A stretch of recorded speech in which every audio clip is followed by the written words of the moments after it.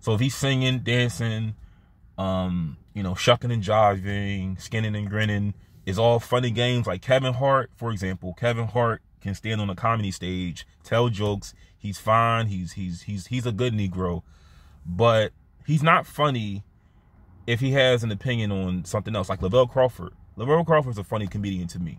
But the minute Lavell Crawford gave a serious opinion on um and he has his right to, to say what he says. He thinks that um homosexuality should not be, you know, exposed to children. And I sort of agree.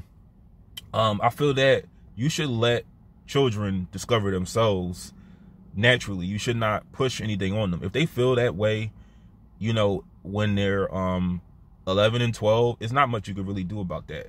But I but he get he spoke his mind on not um like not being down with promoting homosexuality in cartoons. And like I said, I agree. We we shouldn't do that to children. We should let children discover who they are naturally. Like just let them find out, you know, through the um, development. But he wasn't singing, he wasn't dancing, he wasn't making jokes, and they called him. Um, they tried to cancel him after that, and he had to apologize. So it's like it's a racism in in the jobs we're allowed to do. Once again, we are allowed to only sing, dance, entertain, play sports. Anything else, we're a threat.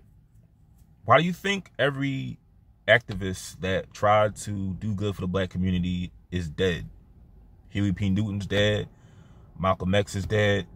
Dr. King, after the civil rights movement, when he lost control of it, he, they killed him. Because you understand, you don't know nothing about Dr. King after I Have a Dream. Because they weren't promoting him because he realized the mistake he made with integration. Everybody dies that is an activist for the black community because they're because understand they're not safe negroes they want to see change in the community they want to see they want to see um real progress done in the black community and you know that's not obviously allowed to be done and what i'm and want to say what i mean about Tariq Nasheed is not that you have to agree with him but he's only a threat because he's talking about white supremacy he's not singing he's not dancing he's not entertaining people I remember I read this bullshit ass book called How to Be Anti-Racist by this dude. It was Abraham X something. It's a it's a dumbass book. And I don't I don't agree with a lot of that stuff in there. But the fact that you have a black man writing a book calling out racism, not singing, not dancing, not dribbling the ball, not shucking and jiving, not skinning and grinning, he's a threat. He's a threat he's hated in the com. When you read those comments, look at the stuff they're saying about him. They're saying all this stuff about him. Um, it, just just read the comments, and and it, it says um, it, it's pretty self-explanatory in, in the comment section.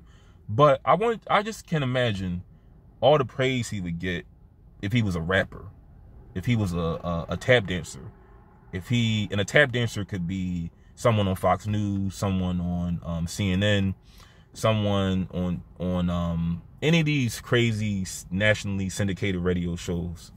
But just think about that. If he was doing anything that I described that we're allowed to do, they would have no problem with that. But the minute you speak your mind, the minute you call out the bullshit that goes on in this country, you're hated. You're a threat. And that's what I'm trying to explain with the roles we are allowed to do. We're not allowed to do anything that I just named. Anything except what I named, you're a threat and you're a target.